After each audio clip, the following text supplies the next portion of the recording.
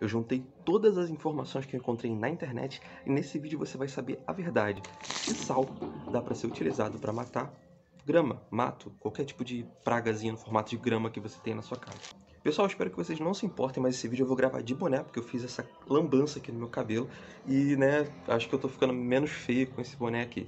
Se você não me conhece, eu me chamo Patrick Portez, esse é o canal Saco de Planta. Aqui eu te passo dicas e vários conhecimentos que eu pesquiso na internet sobre planta.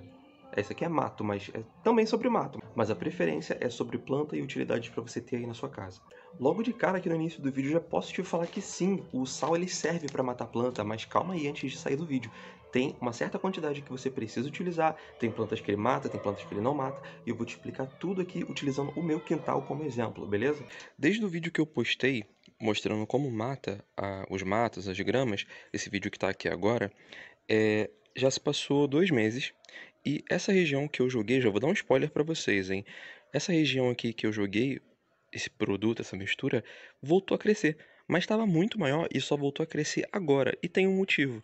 Voltou a crescer simplesmente porque esse lugar é uma canaleta, por aqui passa bastante água, então limpa o solo, limpa o sal que a gente joga no solo e as outras misturas que a gente joga para poder matar.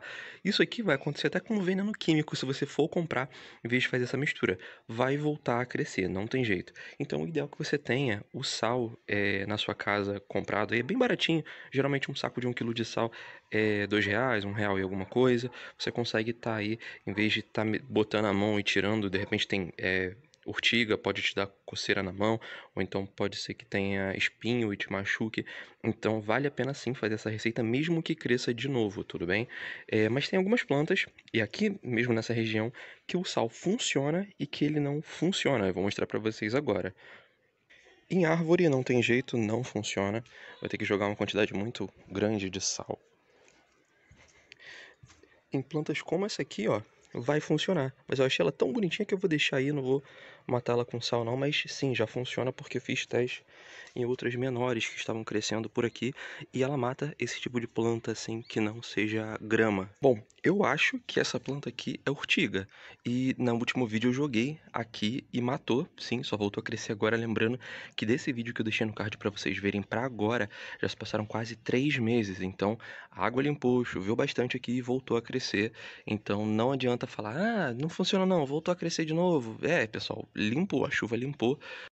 É, pessoal, foi eu entrar depois de ter feito o vídeo e começou a chover novamente. Pois é. O que estava aqui voltou a crescer realmente. Mas urtiga e essas outras plantas aqui, assim, que estão por aí, que vocês estão vendo, mata sim. Mas aí é que vem o grande problema, que é esse tipo de mato aqui que eu desconheço, eu não sei o nome. Se você conhecer, deixa aqui nos comentários. É, ele não morre, não tem jeito. E como ele não tem espinho, não tem nenhum problema, vem com a mão e arranca, porque realmente essa mistura não funciona. Você pode também usar a mistura química, tá? Não é tão é, caro assim esses... É, essas químicas que a gente encontra vendendo por aí em casa de jardinagem para poder matar a grama. É, serve bem para essas plantas aqui, mas como é besteira, ó, arrancar com a mão é bem fácil.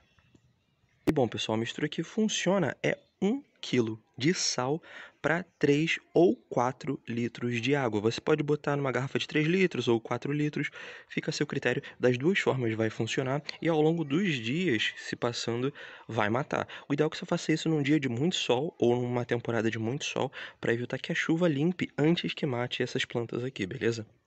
Olha só, você consegue ver que ela tá aqui tem plantas que morrem, tem plantas que não morrem com esse produto. E aqui também, ó, essa ele mata. Tudo isso aqui ele vai matar se eu jogar. E olha, essa dica é muito boa, é muito barata e ela vale a sua inscrição aqui embaixo. Me ajuda, clica aqui em se inscrever que você vai estar me ajudando a trazer mais vídeos úteis sobre plantas, sobre utilidades para você fazer aí na sua casa e ter plantas maravilhosas sempre.